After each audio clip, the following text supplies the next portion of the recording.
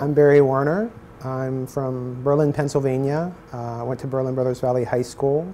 I um, had befriended a kid at school. He was the same age as me, and I was really worried about him because he was doing horrible in school.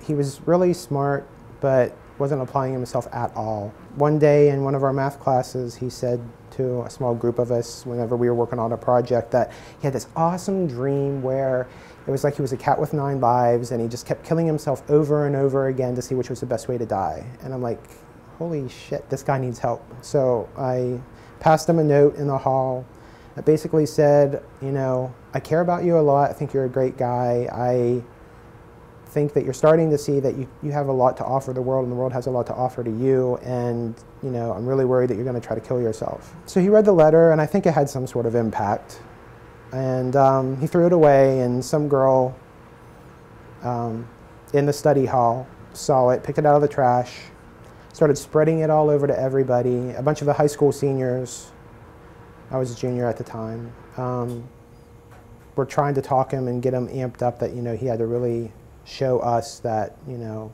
that I was sort of barking at the wrong tree, I guess.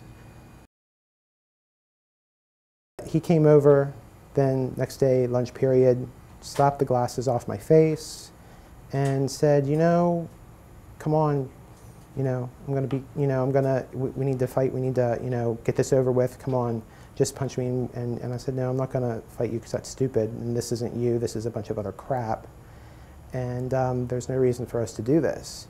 The bell rang, lunch period was over. I was trying to make my way um, out from lunch to my next class, and I decided I wasn't going to run because that's what everybody wanted. I was just going to go at a pace. I had somebody that I was walking next to, and they were like tugging on me. I'm like, no, I'm just walking. And he came out of nowhere and pushed me, knocked me to the ground, said, you know, come on, come on, you faggot, come on. And I said, no, I'm not fighting you. This is stupid.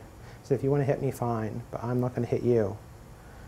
And um, he proceeded to uh, go ahead and, and punch me right here.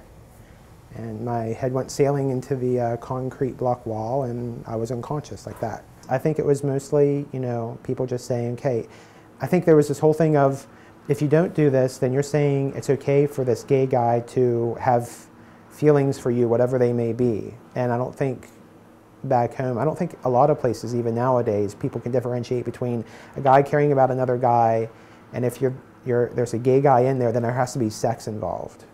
Um, it can't be just two guys being friends, and especially when you're a teenager, because you know everybody's worried about you know what's this going to mean about what people think of me, and I think that's why he did it. You know, this was a great way for him to uh, show that that he could put up or shut up.